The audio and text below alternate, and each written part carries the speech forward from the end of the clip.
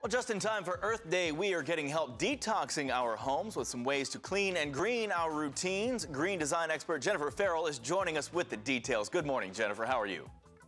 Good morning, Lance. All right, so where do we start with this whole detail? Well, the first thing it takes is intention. The good news is nowadays more of us are trying to be green every day of the year, not just at Earth Day. But since it's right around the corner, this is a perfect time for us to talk about ways to green your routine.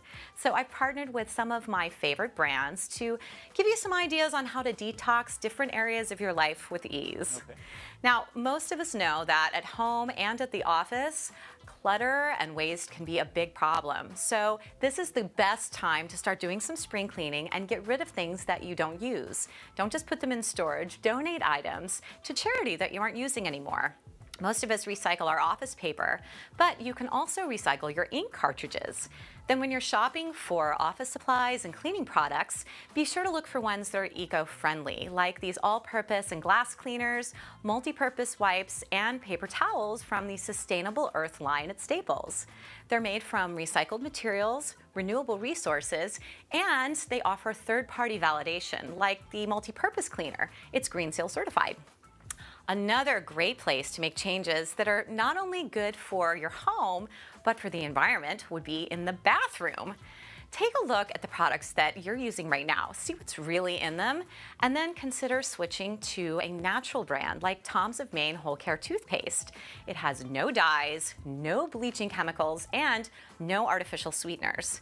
It's a natural toothpaste that whitens teeth by removing surface stains. It offers cavity protection, and it comes in many great flavor options. Plus, Tom's of Maine packaging is fully recyclable, even your toothbrush through TerraCycle.com.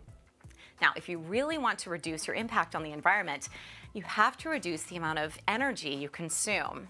Appliances are a big part of our lives nowadays, so be sure you're looking for appliances that offer easy, simple, eco-friendly features. High efficiency appliances in your home, like the Energy Star qualified front load washer and electric dryer with efficiency monitor from Amana, can save over $3,300 in lifetime energy and water costs. That means the appliances basically pay for themselves. So not only are you going green, you're saving green.